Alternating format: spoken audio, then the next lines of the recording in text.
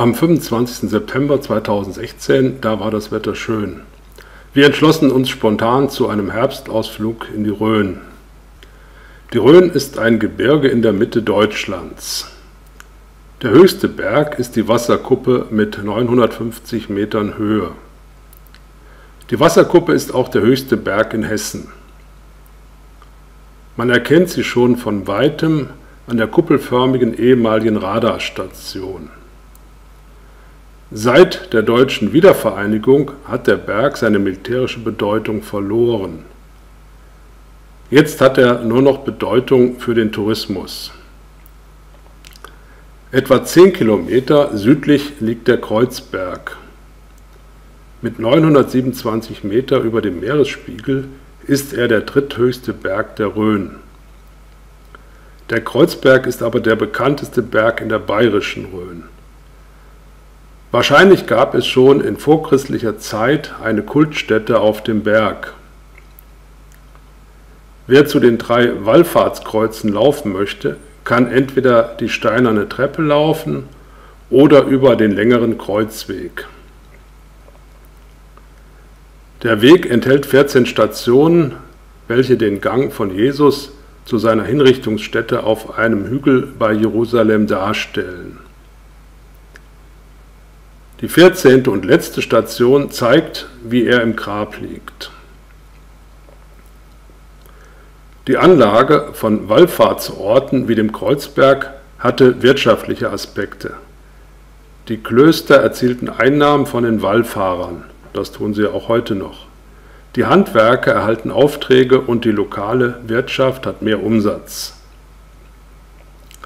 Der Kreuzweg wurde 1710 errichtet und seitdem mehrfach restauriert. Er ist einer der ältesten seiner Art in Deutschland.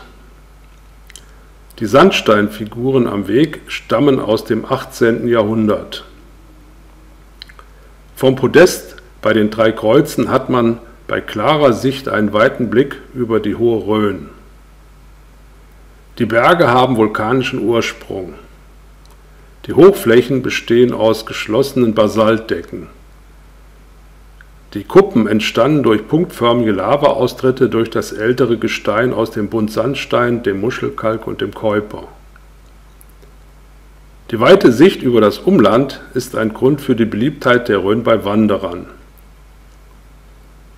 Seit dem Jahr 1991 ist die Rhön länderübergreifend von der UNESCO als Biosphärenreservat anerkannt. Das Land der offenen Weiten oder das Land der offenen Fernen. Es ist eine von Menschen geschaffene Landschaft mit vielen Wiesen und Weiden.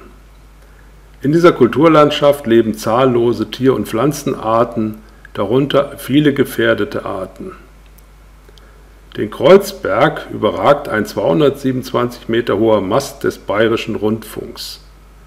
Er wird nicht nur zur Ausstrahlung von Rundfunk- und Fernsehsendungen genutzt, sondern auch von zahlreichen Funknetzbetreibern. Der Hauptgrund zum Besuch des Klosters an schönen Tagen ist wahrscheinlich weniger die Frömmigkeit, sondern der Bierausschank. Die Brauerei besteht seit dem Jahre 1731 und hat einen Jahresausstoß von 8500 Hektolitern.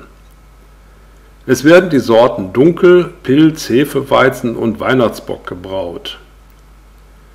Für Besucher, die nicht nur an der Brauerei interessiert sind, gibt es viel zu staunen. Wer der Meinung ist, dass eigene Gebete wenig helfen, kann sein Anliegen auf einen Zettel schreiben. Für ein Honorar oder eine Spende von 10 Euro schließen die Mönche und Geistlichen den Spender in ihre Fürbitten ein. Mit einer ähnlichen Methode wurde zur Zeit der beginnenden Reformation auch schon der Petersdom in Rom finanziert. Details finden Sie, wenn Sie das möchten, unter dem Begriff Ablass. Wer den Friedhof des Klosters besucht, findet auf den Grabinschriften die Abkürzung OFM. Da steht für die lateinischen Worte Ordo Fratrum Minorum und bedeutet in der deutschen Übersetzung Orden der minderen Brüder. Auf dem Heimweg machten wir noch eine Rast in Tann. Das ist ein Städtchen in der nördlichen Rhön. Die erste Siedlung soll schon im 8. Jahrhundert von irischen Mönchen gegründet worden sein. Wenn man mit dem Auto vom Süden in die Stadt fährt, muss man an der Ampel vor dem Stadttor warten. Das bekannte Stadttor ließ Eberhard von der Tann bauen. Er war Anhänger und Freund des Reformators Martin Luther.